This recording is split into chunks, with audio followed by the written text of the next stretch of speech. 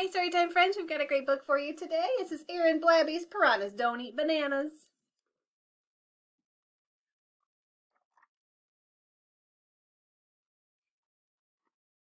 Hey there, guys. Would you like a banana? What's wrong with you, Brian? You're a piranha. Well, how about some silver beet? Are you serious, Brian? We eat feet. Or would you rather a bowl of peas? It, Brian. We eat knees. Well, I bet you'd like some juicy plums. You think they'd like plums? That's it, Brian. We eat buns. we don't eat apples. We don't eat beans. We don't eat veggies. We don't eat greens. We don't eat melons. We don't eat bananas. And the simple reason is, pal, we're piranhas.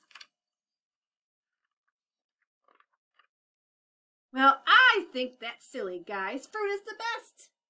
We can't take much more of this. Give it a rest.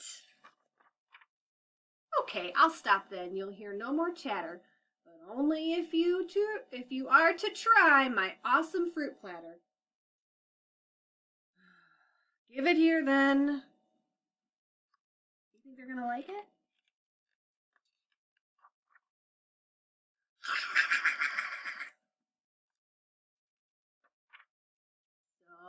What'd you think, guys? Is it yucky or yum? It's very nice, Brian. We still prefer bums. Hope you've enjoyed our very silly story, Piranhas Don't Eat Bananas by Aaron Blabey. We'll see you next time for another great story of the day, but until then, air hugs. Bye, friends.